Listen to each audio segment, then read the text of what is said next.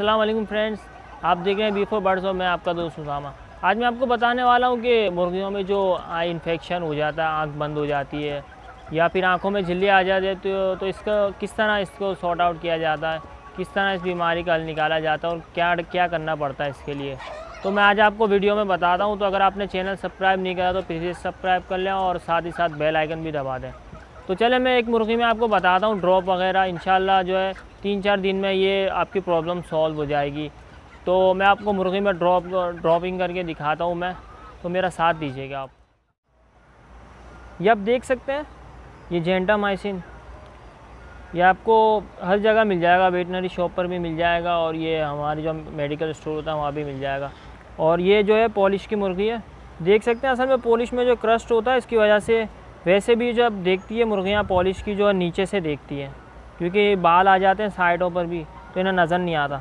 तो आप देख सकते हैं, ये देखें, इस तरह इसकी आँख हो गई है, बिल्कुल बंद हो गई है, और ये झाग सा भी आ रहा है।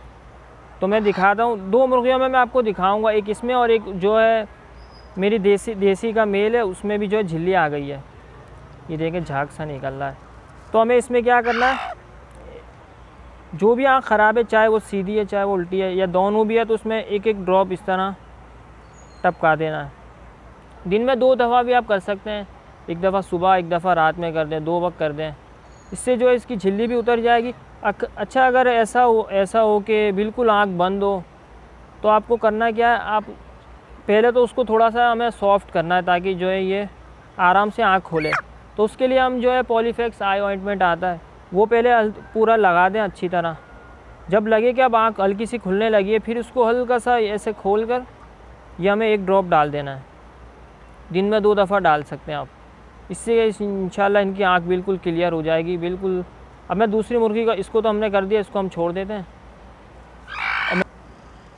ये देख सकते हैं आप, ये भी खोल नहीं रहे, वरना इसकी जो है आँख में झिल्ली उतर आई है। तो वो भी इंशाल्लाह, ये एक ड्रॉप से इंशाल्लाह काफ़ी हद तक ये सेट हो जाएँगे। ये ठीक है। बस ये एक एक कतरा टपका देना। अगर दोनों आँख, ये दूसरी आँख इसकी सही है। बस ये जो तरीक़ाकार मैंने बताया, इसी को आप फॉलो कीजिए। इंशाल्लाह आपकी मुर्गियों की जो आँखें आई इन्फेक्शन है, या जिस तरह ये जब ये खुजाते हैं, ऐसे ख़ारिश करते हैं तो इस तरह इनकी आँखों में वो हो जाता है इन्फेक्शन नाखून वगैरह लग जाता कुछ भी लग जाता है। तो इससे इंशाल्लाह आपकी ये प्रॉब्लम सॉल्व हो जाएगी। तो फ्रेंड मैं इजाज़त देता हूँ आपसे। अगर चैनल सब्सक्राइब नहीं करा तो प्लीज़ सब्सक्राइब कर दें और बेल आइकन भी दबा दें। और इस वीडियो को ज़्यादा से ज़्यादा शेयर करें ताकि और लोग भी इससे फ़ायदा उठा सकें। तो फ्रेंड मैं इजाज़त देता हूँ आपसे। अल्लाह हाफिज़।